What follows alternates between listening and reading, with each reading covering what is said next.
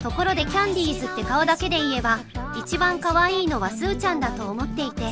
最初はスーちゃんありきのグループだったそうですね。運営の偉い人があのスクールメイツのスーちゃんって子非常に可愛いから抜擢しよう。あともう2人くらい選んで3人娘として売り出そう。